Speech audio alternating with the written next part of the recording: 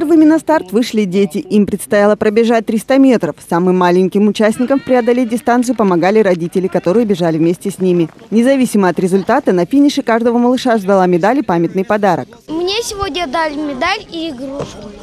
А что написано? Мы сегодня участвовали под номером 31.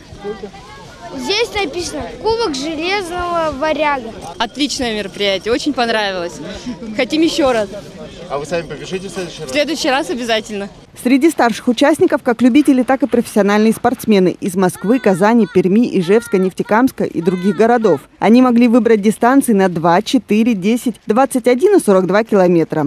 Занимаюсь спортивным ориентированием э, и бегом. Но, получается, давно уже не бегал, катался только на лыжах. Дистанция несложная, сложно было на поворотах, когда там резкий, получается, на 360 градусов нужно разворачиваться, э, ноги чуть проскальзывают и можно упасть. Приходилось тормозить. Сегодня я пробежала дистанцию 10 километров.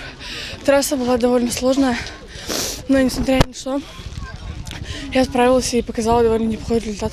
Изначально было все хорошо, прям темп был уверенный, а потом как-то начало проскальзывать и потяжелело, но пришлось потерпеть.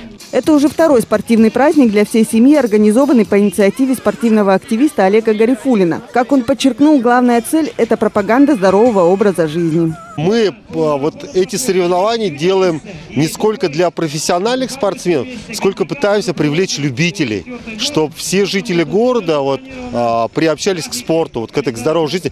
Поэтому очень много дистанций, чтобы могли взрослые, дети, вс- всей семьей люди могли участвовать на соревнованиях. Олег планирует развивать кубок, охватывая как можно больше спортивных дисциплин. Он надеется, что география участников будет расти. В ближайших планах провести в мае кубок по триатлону.